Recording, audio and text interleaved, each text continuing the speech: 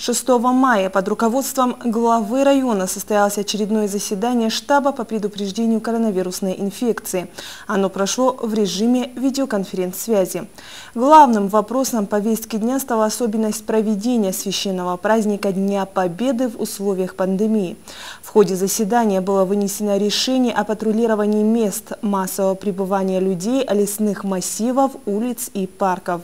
Главная задача – исключение скопления людей, как следствие защита населения от угрозы заражения опасной инфекцией, отметил Заур Хамирзов. Администрация района призывает всех жителей с пониманием отнестись к данной мере и встретить этот праздник в кругу семьи.